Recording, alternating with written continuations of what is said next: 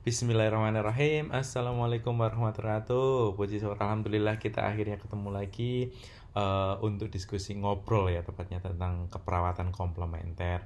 Uh, Topiknya tentang aromaterapi Sebenarnya jujur ya Saya tidak pernah uh, mengajar gitu ya Mengajar tentang ini. Dan ini pertama kali saya mengajar terkait dengan uh, Enggak ngajar ya Nanti saya kesannya menggurui. Jadi cerita atau diskusi tentang aromaterapi ya pernah kalau di, diskusi di uh, mahasiswa nurse gitu atau profesi gitu pengen melakukan aplikasi kian gitu ya untuk melakukan aplikasi aromaterapi pada pasien uh, yang akan dijadikan uh, untuk kiannya mereka gitu ya. Nah uh, biar kita lebih dalam lagi jangan lupa like and subscribe video ini agar eh, teman-teman tidak kehilangan topik yang kita pelajari. Ini topik yang pertama ya, maksud saya ini adalah part dari aromaterapi yang pertama. Oke, lanjut. Uh, semoga teman-teman sehat semua sehingga kita berdis bisa berdiskusi terus. Oke, lanjut. Yang pertama, nah komplementari terapi, aromaterapi itu apa toh gitu ya. Saya kenapa pakai bahasa Inggris ini ngambilnya saya dari sebuah jurnal Scopus ya gitu ya. Jadi bukan dari uh, ya sama sih hampir yang dipakai uh, di buku-buku terapi komplementer pada keperawatan itu uh, sama juga hampir sama juga dengan jurnal yang saya gunakan ini. Nah, aromaterapi itu berasal dari dua kata yaitu aroma dan terapi ya di mana aroma itu adalah artinya fragrance bukan smell yang bau gitu ya kalau bau itu kan smell gitu ya smelly bau gitu ya. Nah ini aroma lebih ke fragrance atau sesuatu yang harum wah gitu ya. Jadi kalau misalnya kita mau beli parfum atau kita lewat di depan toko parfum gitu ya itu kan uh, semerbak gitu aromanya ya. Nah itu seperti itu.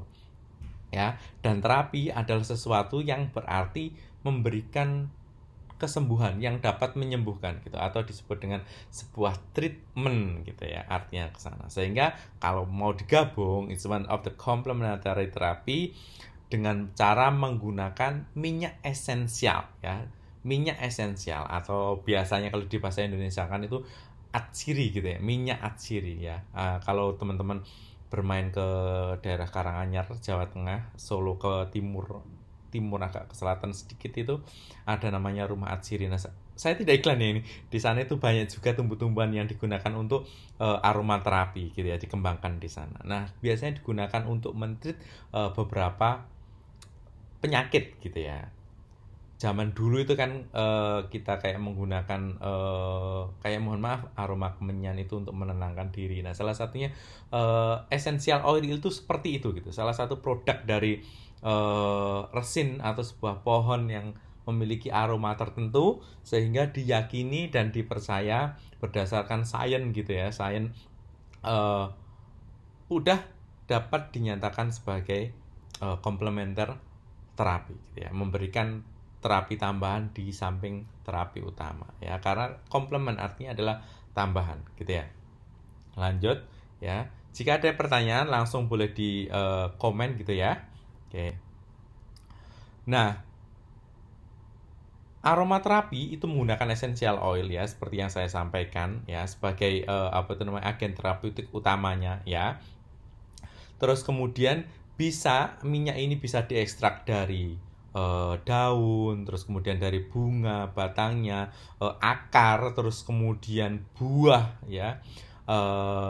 Atau dari resin. Resin itu kayak apa ya? Apa namanya? Kayak getah pohon gitu ya yang jadi kalau misalnya teman-teman uh, ngelihat atau mengiris sebuah pohon uh, batang pohon gitu ya coba keluar kayak seperti minyak yang mengkilat. Nah itulah yang disebut dengan resin. Biasanya agak lembek-lembek gimana lama-lama kalau kena panas dia akan mengeras gitu ya. Nah itu yang disebut dengan resin. Terus uh, minyak uh, essential oil ini ya campuran ya campuran antara hidrokarbon yang jenuh dan tak jenuh gitu ya. Ada alkoholnya, ada aldehidnya, terus kemudian ada ester, ada ether, ada keton. Nah, biasanya keton itu salah satunya adalah yang kayak memunculkan aroma, terus kemudian oksin penol, terus kemudian terpen ya. itu akan memunculkan karakteristik masing-masing ya aroma yang berbeda-beda ya. Kalau teman-teman eh, di toko parfum itu ya aroma lab gitu, ya, library uh, aromatik gitu. Biasanya itu kan aroma itu berbeda-beda beda semua ya, tergantung dengan campuran yang digunakan ya. Nah, terpen itu apa gitu ya? Senyawa aromatik yang menentukan bau dari atau aroma dari banyaknya banyak tumbuhan gitu ya, memiliki ciri khas tertentu gitu ya. Terus kemudian aldehid itu apa? Uh, zat antara uh, yang di apa membuat tersin gitu ya uh, terus kemudian sebagai pelarut gitu ya. Nah, kalau ether itu adalah cairan yang mudah menguap dan mudah terbakar gitu ya. Nah, biasanya kan kalau kalau teman-teman perhatikan uh, saat di aroma-aroma terapi itu ya, eh sorry aroma terapi uh, di toko-toko pewangian itu adalah ada yang digunakan untuk mencampurkan agar uh, apa namanya bibit yang disebut bibit di sana itu bisa tercampur dengan cairan tersebut sehingga bisa disemprotkan ya. Sehingga dia e, aroma campurannya tadi tetap memiliki aroma yang sama ya. Nah ester adalah senyawa yang mudah menguap di dalam larutan. Biasanya seperti itu ya. Teman-teman bisa e, googling untuk lebih detailnya terkait dengan e, zat-zat yang ada di sini Oke. Nah, bagaimana aromaterapi itu bekerja? Ya. Nah, ke aromaterapi itu kebanyakan adalah digunakan seperti inhalasi ya, dihirup gitu ya. Nah, rata-rata karena aroma berarti itu adalah apa namanya? fragrance aroma atau bau-bauan yang bisa tercium. Berarti kalau sudah tercium berarti terhirup gitu ya. Nah, seperti itu ya. Terus kemudian eh minyak ini akan mengaktifkan ya reseptor yang ada di hidung ya e, reseptor biologi yang ada di hidung itu akan di, mengaktifasi ya aktif terus kemudian sensor tersebut akan mengirim sinyal bahwa ini loh ada sebuah minyak yang harumnya seperti ini ke dalam e, apa itu namanya sistem limbik ya. Dan di sistem limbik di bagian hipotalamus ya yang ada di otak ya. E, melalui bulbus olfactorius ya di bulbus olfactorius silakan kembali ke bagian e, sistem neuro ya. Terus kemudian saat di otak di otak tersebut akan menangkap sinyal tersebut kemudian dan neuron e, apa yang ada di otak itu akan merilis sesuatu zat yang sangat e, apa namanya? Mempe, membuat mudah kita menjadi gembira membuat kita menjadi uh, perasaan euforianya meningkat terus kemudian menjadi lebih rileks gitu ya. Nah hormon tersebut seperti serotonin endorfin ya. Terus kemudian noradrenergi gitu jadi kita menjadi memiliki semangat yang baru gitu. Nah seperti itu. Nah hasilnya apa? Ya tadi itu seperti yang saya sampaikan. Memiliki rasa yang lebih lega terus kemudian kesedihan bisa menurun rasa, rasa stres menurun bahkan bisa sampai menghilangkan nyeri ya. Nah itu adalah bagaimana sebuah aroma terapi itu bisa bekerja di dalam tubuh kita gitu ya. Oke. Selanjutnya nah klasifikasi dari aromaterapi gitu ya. Bisa digunakan untuk kosmetik ya bisa digunakan untuk kosmetik terus kemudian pijat yang banyak itu ya. Terus kemudian uh, wangi-wangian gitu ya. Terus kemudian bisa merilis uh, stres gitu. Terus kemudian bisa digunakan untuk pengobatan. Nah kalau di Indonesia itu memang belum banyak sekali digunakan terutama di klinik ya. Terutama di klinik untuk pelayanan klinik ya ataupun di primer pelayanan primer uh, klinis pelayanan primer kayak puskesmas gitu atau uh, klinik pratama itu saya belum pernah menjumpai ya mungkin kalau rumah sakit saya jujur saya belum pernah ke rumah sakit yang uh, holistik rumah sakit holistik ya secara detail sehingga saya kurang memahami sekali terkait dengan penggunaan aromaterapi yang ada di rumah sakit uh, holistik gitu ya. Biasanya kan di keperawatan holistik itu kita lebih cenderung mengembangkan hal-hal semacam ini gitu ya. Tetapi saya pernah uh, ke Thailand ya ke Thailand itu dia menggunakan zat-zat atau bahan yang ada di daerah sana ya dari uh, keperawatan komplementernya itu benar-benar digunakan di sana. Bahkan uh, itu itu ditanggung BPJS seperti BPJS-nya Indonesia gitu. Tapi ini adalah versi Thailandnya. Nah, itu masuk ke dalam puskesmas atau ke pelayanan klinik itu digunakan untuk hal semacam itu. Seperti pada pasien-pasien yang uh, kalau di Indonesia itu mohon maaf sekali, mohon maaf sekali itu seperti ratus gitu ya. Nah di Thailand itu juga digunakan hal semacam itu, bagaimana uh, apa itu mengembalikan uh, perut yang kendor setelah melahirkan. Itu ada tekniknya semua dan itu adalah menggunakan tradisional medicine dari Thailand itu sendiri gitu. Ya itu ya balik lagi ya. Seji desa mewacoro berbeda uh, apa namanya negara memiliki perbedaan masing-masing dalam melakukan penata laksanaan uh, keperawatan maupun medikal seperti itu ya. Oke. Nah, selanjutnya adalah uh, beberapa tanaman yang biasanya digunakan untuk uh, aromaterapi gitu ya. Nah, yang paling mudah yang paling sering digunakan itu adalah eukaliptus ya. Eukaliptus kalau teman-teman uh, biasa eukaliptus itu apa? Minyak kayu putih gitu ya, minyak kayu putih. Nah, itu termasuk dalam family Myrtaceae ya, Myrtaceae. Jangan tanya saya terlalu detail karena itu adalah masuk ke ranahnya biologi gitu ya. Terus nah, ini biasanya digunakan untuk anak-anak, untuk apa itu namanya? aromaterapi ditempel di hidung di masker maksud saya itu pada uh, saat kemarin covid covid itu ya akhir-akhir covid itu kan bahkan sudah banyak mulai uh, aroma-aroma terapi yang bisa ditempel di uh, masker ya, masker medis gitu ya untuk biar kita tidak jenuh gitu saat kita praktek memberikan pelayanan kepada uh, pasien bahwa uh, aromanya misalnya mau melakukan uh, perawatan luka pada pasien gangren atau ulkus dikubitus itu kan harum sekali. Nah bisa menggunakan eukaliptus atau minyak kayu putih gitu ya yang itu uh, banyak sekali ditemukan di Indonesia ya. Nah, minyak kayu putih ini itu juga bisa membus atau mem menguatkan sistem imun kita ya. Uh, melawan flu, terus kemudian apa namanya? chicken pox itu apa ya? Hmm, cacar air gitu ya. Nah, semacam itu bisa menguatkan sistem imun kita sehingga bisa melawan eh, virus-virus uh, gitu ya. Terus kemudian digunakan untuk mengatur dan mengaktifasi sistem saraf ya, mengurangi nyeri kepala, terus kemudian uh, ya, yang semacam itu. Terus kemudian keputihan juga bisa ditreatment dengan menggunakan uh, kayu minyak kayu putih ini ya.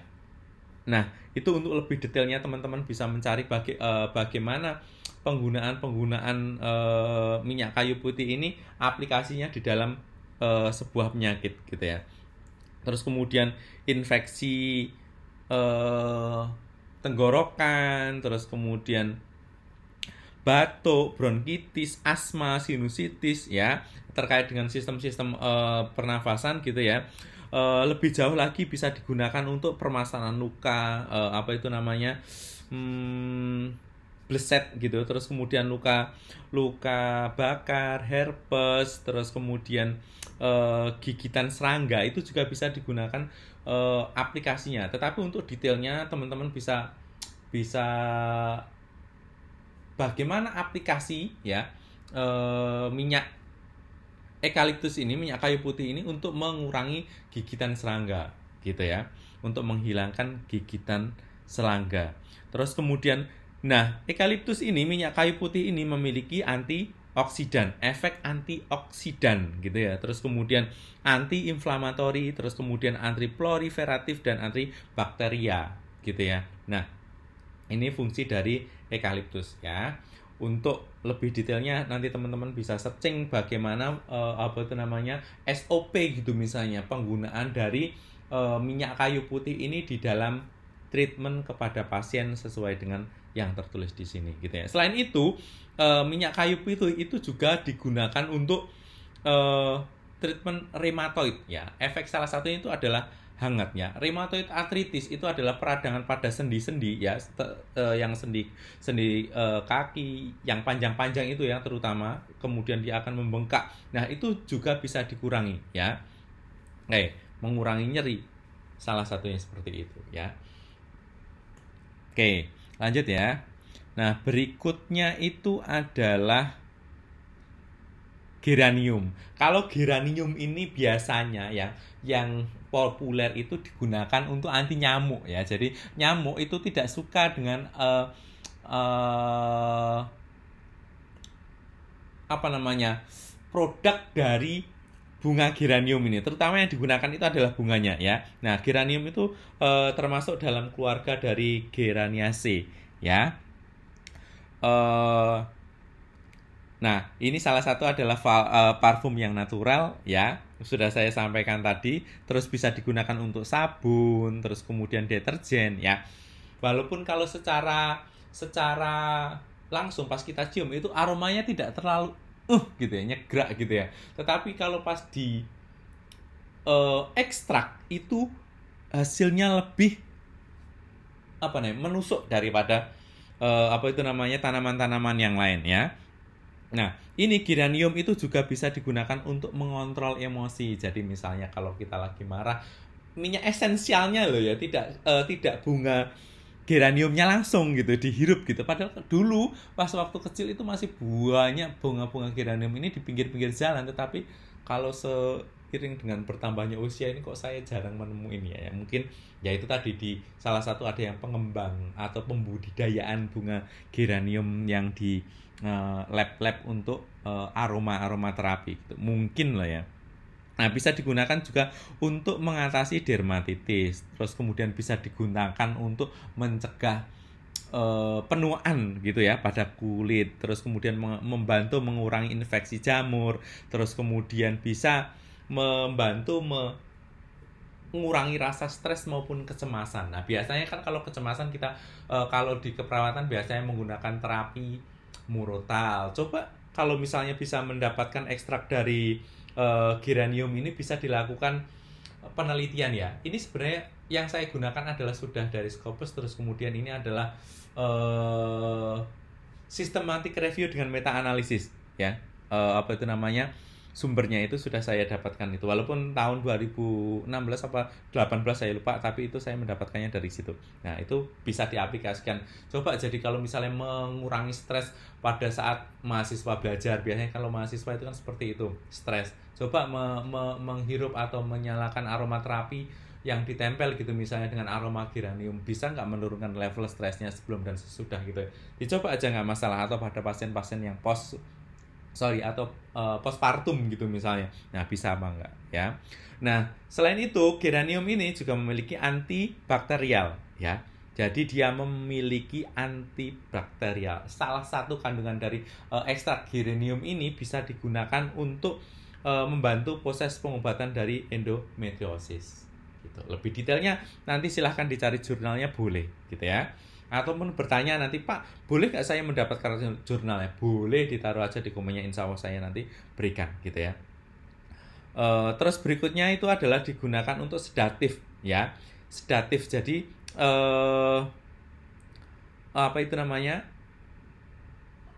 Bikin ngantuk gitu ya sedatif itu kayak uh, obat bius gitu ya kayak nah seperti itu sehingga kita bisa lebih relax gitu ya harapannya atau ngefly kan apa itu kalau apa itu namanya uh, anestesi itu efeknya salah satunya ada seperti itu. Jadi kita menjadi lelah efek uh, tubuh uh, tubuh kita menjadi rileks yang kayak mensedatif. Tapi uh, tidak ke muscle relaksan gitu ya bisa juga membantu proses uh, penyembuhan dari infeksi tenggorokan, terus kemudian gangguan uh, penyakit-penyakit diabetes mellitus ataupun terkait dengan permasalahan dari menstruasi. Biasanya uh, sorry men menopause gitu ya. Ya.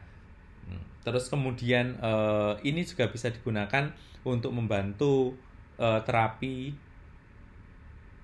pada cancer uh, rahim atau payudara gitu ya terus kemudian nah ini juga bisa membantu uh, dengan cara membantu meminimalkan rasa nyerinya. Nah, itu salah satunya seperti itu. Lebih jauh lagi, eh, efek dari geranium itu adalah memiliki efek antibiotik, uh, sorry, anti diabetik, anti cancer, antibakterial dan antimikrobial. Nah, coba misalnya ya, ini kan uh, ini kan hasil penelitiannya geranium itu memiliki efek anti diabetik. Berarti logikanya kalau misalnya tertarik riset loh ini ya, tertarik riset. Uh, kalau mahasiswa tertarik riset bisa nggak ataupun misalnya ini dijadikan sebuah penelitian yang diajukan uh, untuk pengembangan hibah gitu penelitian hibah bisa nggak uh, ekstrak geranium ini uh, misalnya aman terus kemudian diberikan kepada pasien uh, yang memiliki diabetes terus kemudian kita lihat efek dari uh, ekstrak geranium ini bisa menurunkan GDS atau gula darahnya atau misalnya HbA1c-nya berapa persen dari nilai awal sebelum diberikan terapi uh, ekstrak geranium dicoba. Kalau misalnya tertarik kalau enggak ya enggak masalah sih. Itu adalah salah satu judul penelitian sebenarnya. Ini saya juga bela sambil belajar loh sebenarnya. Jadi saya tidak menguasai sekali uh, terkait dengan keilmuan uh, aromaterapi. Ternyata dari apa yang ada di sekitar kita itu memiliki efek yang baik gitu ya. Terutama natural naturalnya oke. Lanjut ya. Nah, uh, berikutnya adalah lavender. Ini uh, aroma yang sering banget digunakan ya. Selain geranium, lavender itu juga digunakan untuk obat-obat nyamuk ya. Kalau perhatikan teman-teman yang uh, kos-kosannya atau rumahnya banyak nyamuk, terus kemudian menggunakan uh, minyak sebagai uh, salah satu untuk aromaterapi di sebuah uh, anti mosquito ya di rumahnya itu coba aromanya rata-rata apa pasti uh, geranium, lavender gitu ya. Terus kemudian melati itu juga sekarang sudah muncul. Coba aja dicari ya. Nah, ini kenapa lavender bisa apa namanya digunakan untuk aromaterapi? Salah satu mengandung adalah kapur barus kampor itu kalau nggak salah seperti itu. Terus kemudian nah itu bisa dibaca sendiri ya. Nah, lenalol ya, lenalol itu memiliki efek sedatif ya. Jadi sama relaksan juga uh, bisa membuat kita lebih relax gitu ya. Terus kemudian, nah uh, ternyata dia juga memiliki efek narko narkotik, di mana narkotik itu membuat kita uh, seperti ketagihan gitu ya, dengan aromanya lavender itu seperti apa, gitu ya. Ini juga bisa merilis menghilangkan stres ya, mengurangi stres, e, membantu kualitas tidur ya, membantu meningkatkan kualitas tidur, terus kemudian merasa tingkat kesehatannya lebih baik ya. E, berarti kalau dari kata-kata ini kita bisa menyimpulkan bahwa ya saya tidak berani menyimpulkan ya sih. Gimana ya ngomongnya ya itu ya. Tidak bisa uh, bisa mengurangi terkait dengan gangguan uh, mental gitu ya terkait dengan permasalahan uh, psikologisnya ya seperti cemas terus kemudian uh, uh, apa namanya depresi itu bisa dikurangi dengan penggunaan aromaterapik lavender ya.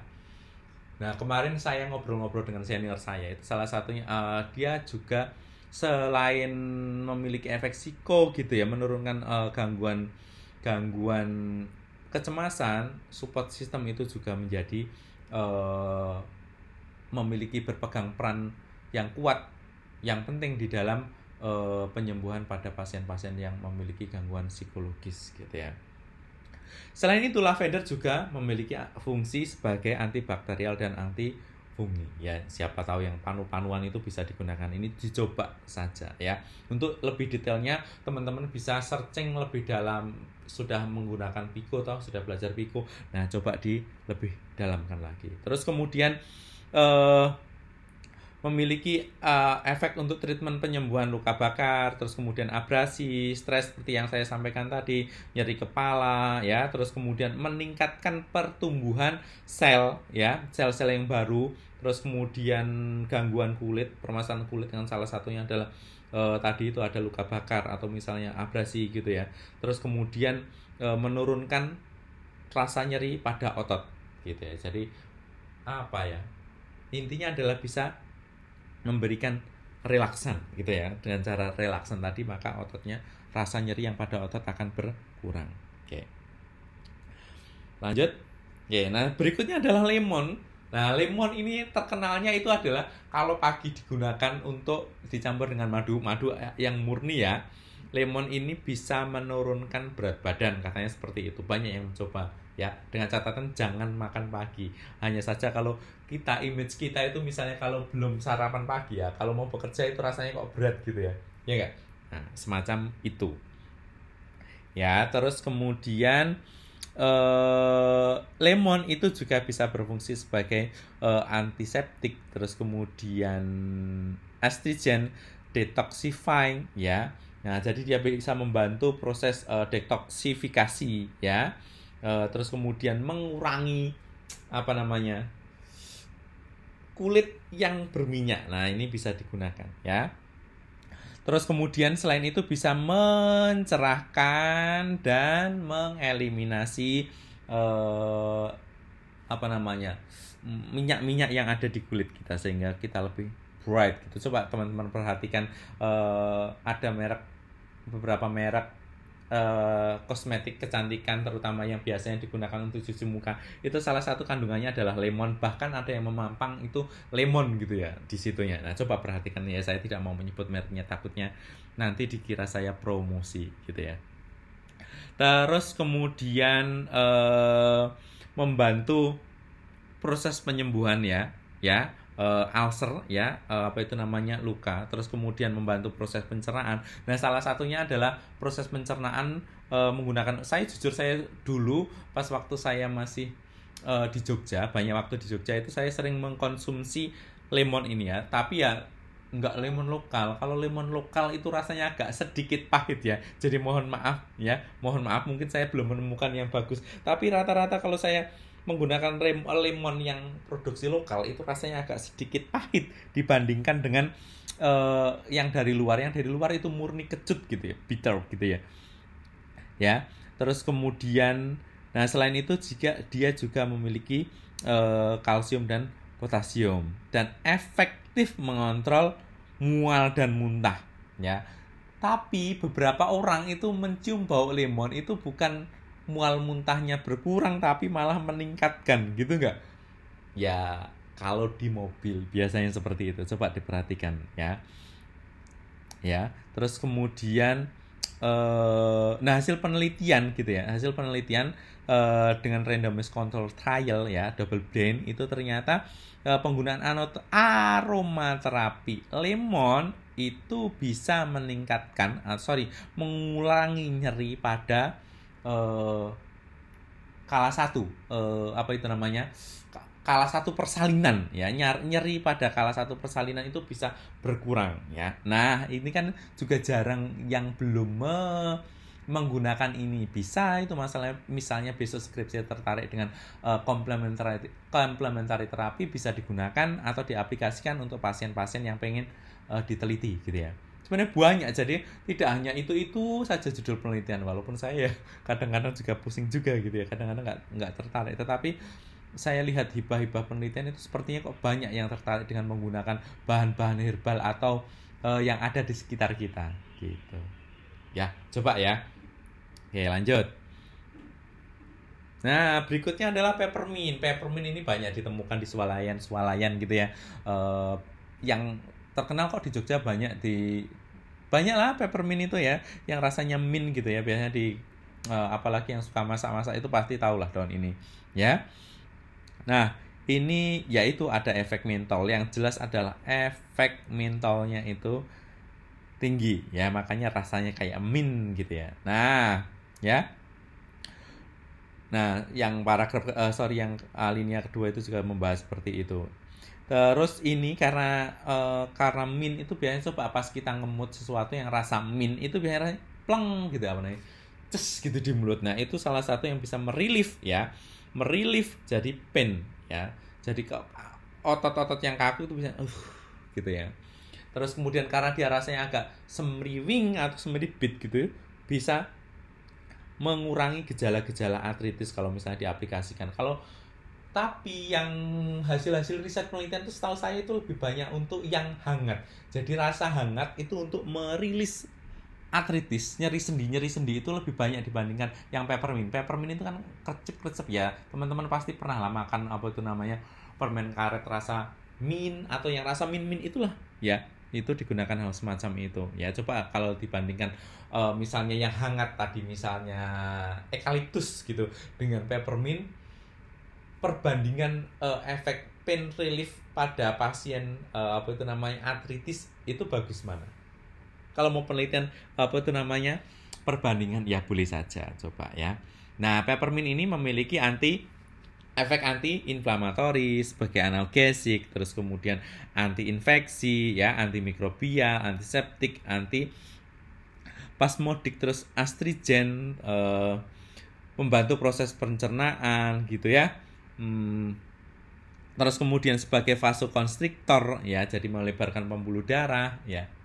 Terus kemudian sebagai dekongestan ya kalau pasien-pasien yang batuk terus kemudian e, sama gangguan-gangguan nyeri perut. Nah ini boleh coba. Yang penting adalah ada bukti evidennya terus kemudian kita cari bagaimana SOP penggunaannya bagaimana aplikasi e, peppermint gitu dalam e, komplementari terapi detailnya seperti apa gitu nah kita bisa cari bareng-bareng terus kemudian kita bisa e, penelitian terkait dengan peppermint ini gitu ya Nah, yang paling banyak itu adalah uh, anak ibu sakit gitu. Nah, terus kemudian dioles-oleskan gitu ya, ditaruh di hidungnya sebagai power balsam gitu ya. Ah, saya hampir menyebutkan ya. Nah, itu kan ada yang warnanya eh, apa bals seperti balsam bulat tipis itu namanya ya. Sama mereknya juga V berasal dari berawalan huruf V juga. Nah itu biasanya ditaruh di hidung atau disedot-sedot biasanya itu adalah yang peppermint peppermint gitu ya. Oke, pas hidung-hidung kita tersumbat itu enak. Oke. Oke, nah selanjutnya itu adalah kita di uh, chamomile ya. Chamomile itu masuk ke keluarga Astre Asteraceae ya. Jadi ya seperti itu. Nah, ini uh, chamomile ini memiliki uh, apa namanya efek untuk bisa mengurangi demam sebagai antiinflamasi terus kemudian sebagai uh, relief muscle spasm terus kemudian sebagai uh, salah satu yang bisa membantu untuk gangguan menyelesaikan gangguan menstruasi ya mungkin seperti uh, mens yang tidak teratur, haid yang tidak teratur, terus kemudian gangguan insomnia atau gangguan tidur, terus kemudian luka, gangguan pencernaan gitu ya, terus kemudian nyeri rematik dan bahkan hemoroid ya. Coba kalau misalnya teman-teman mau mengekstrak uh, chamomile ini terus kemudian didapatkan uh, essential oilnya atau minyak atsirinya ini terus kemudian misalnya dioleskan bisa dalam bentuk langsung minyaknya atau minyak tersebut diubah menjadi atau dikombin dengan bentuk uh, apa namanya gel gitu misalnya biar lebih adem. Nah terus kemudian ditempelkan pada hemoroidnya. Apakah hemoroidnya bisa mengecil atau nyeri pada hemoroidnya saat pasien BAB atau tidak BAB itu bisa menurun? Mungkin itu bisa menjadi sebuah penelitian baru gitu ya. Selain itu uh, chamomile ini juga bisa digunakan untuk merilis stres ya merilis stres kalau kita stres uh, maka kita akan sistem lain juga akan terganggu. Sehingga kalau kita pandai mengontrol melakukan manajemen terhadap stres kita yang kita dapatkan ya insya Allah kita bisa improve dan kita bisa uh, melakukan pengelolaan manajemen diri lebih baik lagi. Gitu kan? Jadi kita tidak bernegatif thinking terhadap yang lain gitu ya. Nah chamomile ini aromanya itu juga bisa membuat kita menjadi rileks sehingga harapannya adalah tidur kita menjadi mudah terus kemudian uh, saat kita bangun menjadi lebih fresh lagi gitu ya. Nah itu adalah uh, efek dari aroma chamomile gitu. Oke. Nah, ini sepertinya slide yang terakhir. Slide terakhir itu adalah terkait dengan rosemary ya rosemary ini adalah eh, termasuk keluarga dari Laminaceae ya. Eh, ini bisa membantu untuk mengurangi gangguan pencernaan ya. Kemampu eh, jadi eh, gangguan konstipasi terus kemudian radang pada uh, usus besar itu juga bisa dibantu dengan menggunakan minyak essential oil ini uh, yang berasal dari bunga rosemary gitu ya tumbuhan rosemary ini. Ya selain itu jika dia juga bisa membantu untuk uh, pengobatan terkait dengan penyakit liver maupun uh, apa namanya? Empedu ya pada kantong empedu. Selain itu minyaknya ini juga bagus untuk sistem kardiovaskular yaitu minyak ini mampu untuk meregulasi terkait dengan tekanan darah ya terus kemudian dia juga membantu meminimalkan uh, sorry apa namanya mengurangi untuk terjadinya kekakuan pada dinding arteri ya atau pengerasan pada dinding arteri. Artinya apa ya? Seperti bisa merelief uh, aterosklerosis ya. Aterosklerosis walaupun tidak secara langsung signifikan ya karena ingat ini adalah terapi komplementer maka efeknya adalah merupakan sebagai tambahan atau ajuvan dari uh, terapi utamanya gitu ya misalnya seperti itu karena ya kalau misalnya uh, kalau sudah terjadi spasme itu kan resiko untuk terjadi uh, serangan jantung. Nah, itu yang perlu kita antisipasi sehingga tidak gampang di dalam melakukan aplikasi terapi komplementer yang ada di pelayanan uh, rumah sakit maupun di komunitas gitu ya. Karena ya mohon maaf gitu karakteristik dari masyarakat kita itu pengennya adalah minum obat sekarang sembuh sekarang. Atau misalnya sekarang dioperasi ya sekarang langsung bisa pulang. Harapannya adalah semacam itu. Tanpa berpikir efek lebih panjangnya misalnya uh, ada gangguan-gangguan yang lain itu bisa diatasi melalui proses step by step gitu ya.